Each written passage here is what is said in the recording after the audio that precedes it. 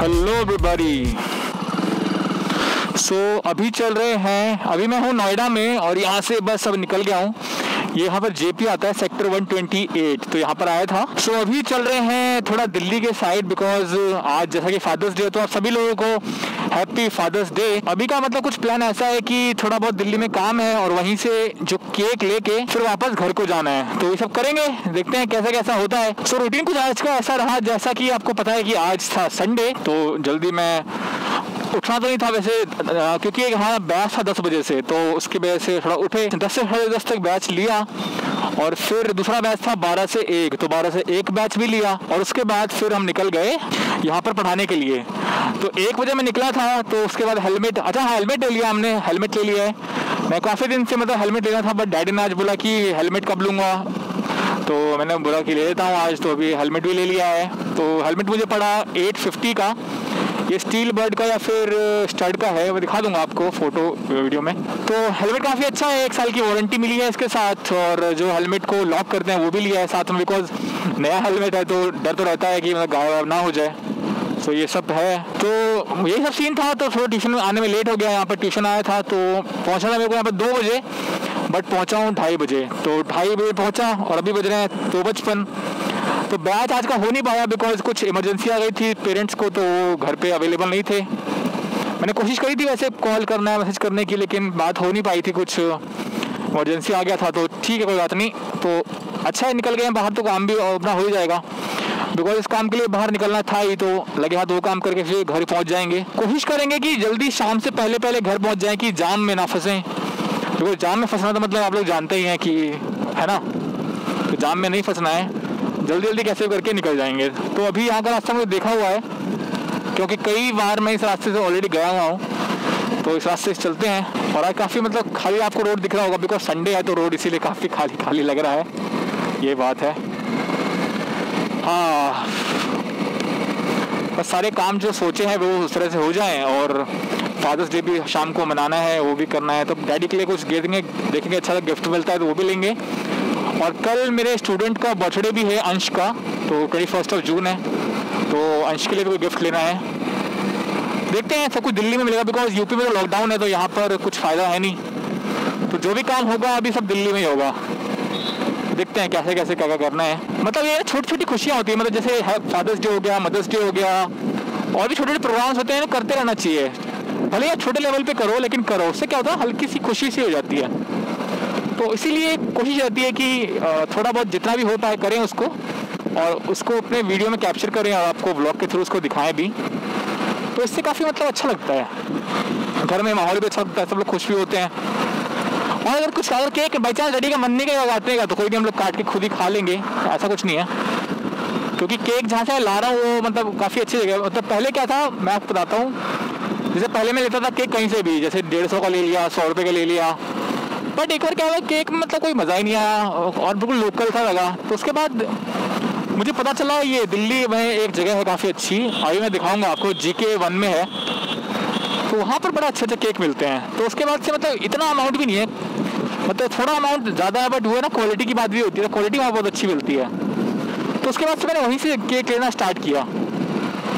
तो अब रेगुलरली यही करता हूँ, जब भी अगर मैं दिल्ली के आसपास रहता हूँ तो केक वहीं से लेके आता हूँ। क्योंकि उससे कहता है केक मज़ा आता है खाने में। तो यार, अच्छो कम लो, लेकिन अच्छा लो, है ना? क्योंकि वैसे क्या होता है, लगता है वरना पैसे की बर्बादी है अगर बेकार चीज़ लेते हैं तो। और अच्छी चीज़ लगता है कि हाँ भाई, पैसे सारे वसूल हैं। तो ज़्यादा प्रेफरेंस में रहती है सेकेंड वाली चीज़ पे कि अच्छा क्वालिटी का सामान लो तो वो सही रहता है। तो बस यही सब है। अब चलते हैं दुनिया में। कैसे वादा करोगे? दुनिया है अपनी साथ कर करना तो ठीक है दोस्तों, अभी मैं चलता हूँ। वहाँ पे केक की दुकान पहुँचता हूँ। फिर वहाँ पर पहुँच के उसके बाद मैं आपसे मिलता हूँ, ठीक है? तो दोस्तों, केक मैंने ले लिया है। मेरे पीछे देखिए शॉप है मैक्सिम तो अगर आप लोग जी के वन के पास में रहते हैं तो मैं आपको रिकमेंड करूँगा कि यहाँ से केक लीजिए बिकॉज़ केक मैंने ले लिया है। अब से निकलते हैं घर को, ठीक है? तो दोस्तों केक ले लिया है और इससे पहले डैडी के लिए और अंश के लिए गिफ्ट भी ले लिया था। तो और जो थोड़े बहुत काम थे, वो भी मैंने कर लिए हैं। और गिफ्ट के शॉप पे मैं शूट इसलिए नहीं कर पाया बिकॉज़ मैंने पूछा कि क्या मैं यहाँ शूट कर सकता हूँ? उन्होंने बोला कि नहीं, यहाँ पर अलाउ नहीं है, वरना वहाँ पे इतना अच्छे अच्छे चीज़ें थी शूट करने के लिए बट नहीं हो पाया। तो कोई बात नहीं, जैसा भी है, जो रूल है, वो तो हमें ना मानना ही पड़ेगा। तो यहाँ पर जी में एक शॉप है Maxim M A X I M यहाँ पर आप आइए केक लीजिए मतलब आप भी याद रखेंगे। मतलब बहुत अच्छे केक मिलते हैं। और लगभग पिछले तीन चार बार से केक जो है मैं यहीं से ले जा रहा हूँ। बिकॉज़ बहुत मतलब प्राइस भी कोई बहुत ज़्यादा नहीं है और क्वालिटी एक नंबर सो so, अभी करते हैं क्योंकि अभी बज गए हैं चार पच्चीस तो फटाफट निकलते हैं घर को बिकॉज़ कुछ देर बाद शाम हो जाएगी और फिर जाम लगना स्टार्ट हो जाएगा।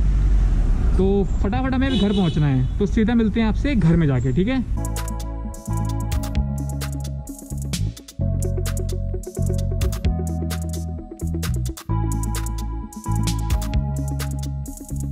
दोस्तों फाइनली घर पहुँच गया हूँ और अभी चलते हैं ऊपर फटाफट क्योंकि केक को रखना है फ्रिज में और सारा सामान ये रहा और ये रही नई हेलमेट जिसके बारे में बात कर रहा था। ये है हमारी नई हेलमेट जिसके बारे में बात कर रहा था। ये है आपकी स्टील बर्ड की है। और इसके बारे में बात कर रहा था मैं। तो ठीक है, चलते हैं ऊपर फटाफट। सारा का सारा जो सेटअप है, करते हैं, देखते हैं क्या क्या होता है, फिर मिलता हूँ आपसे कुछ देर बाद, ठीक है?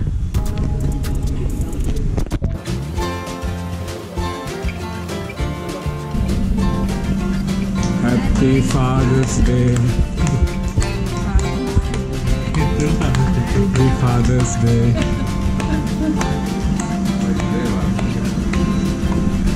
Happy Father's Day to you.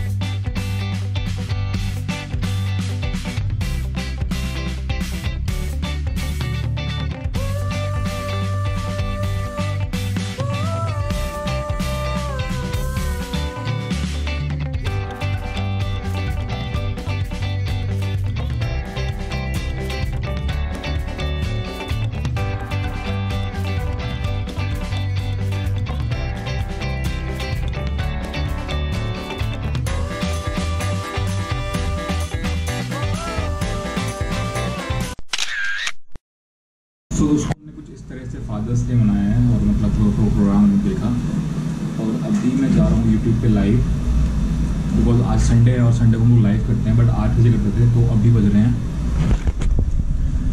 Nine twenty three थोड़ा लेट हो गया मैं लाइव लेकिन बस अभी एक कमेंट भी आ गया आज कि मैं लाइव नहीं आया। थोड़ा सा लाइव आ जाते हैं फटाफट उसके बाद में हमसे मिलता हूँ ठीक है?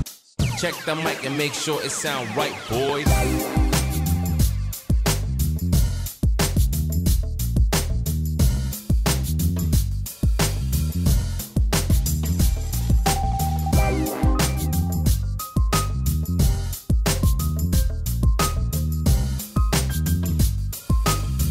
तो दोस्तों टॉपिक मिल चुका है। एक वीडियो बना रहा हूँ मैं मिल्खा सिंह के ऊपर जो अब हमारे बीच नहीं रहे।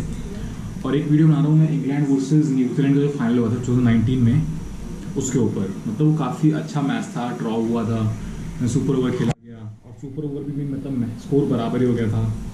बट जो कुछ रूल्स थे जिसकी वजह से इंग्लैंड जो है वर्ल्ड कप जीत गई थी तो उसको मैंने वीडियो देखी है। अभी अभी एक शॉर्ट बनाऊँगा मिल्खा सिंह जी के ऊपर बनाऊँगा शॉर्ट और जो ये क्रिकेट वाली वीडियो है वो बनाऊँगा लंबी वाली वीडियो नॉर्मल वाली वीडियोस होती हैं कुछ वैसे। सो फाइनली दोस्तों शूटिंग डन हो चुकी है बट मैं दिमाग से बिल्कुल निकल गया कि मुझे टाइम लैप्स के लगाना था। सो so, कल की वीडियो में टाइम लैप्स नहीं हुआ शॉर्ट्स का और आज भी नहीं हो पाया। बिल्कुल दिमाग से निकल गया। मैंने यहाँ पर इसको गोप्रो को रखा हुआ था कि मैं इसको लगाऊँगा टाइम लैप्स लगाने के लिए बट निकल गया दिमाग से। सो फाइनली हमारी शूटिंग हो चुकी है, दोनों के दोनों। हमारा ब्लॉग भी ऑलमोस्ट रेडी हो चुका है। तो अब करते हैं आज की वीडियो को क्लोज सो आशा करता हूँ कि आपको आज का ब्लॉग देखने में बहुत मज़ा आया होगा। मज़ा आया तो प्लीज़ वीडियो को लाइक करना।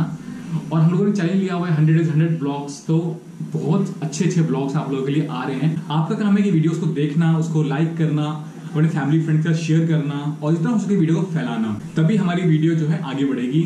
सो मिलता हूँ आपसे अगली ब्लॉग में। तब तक के लिए बाय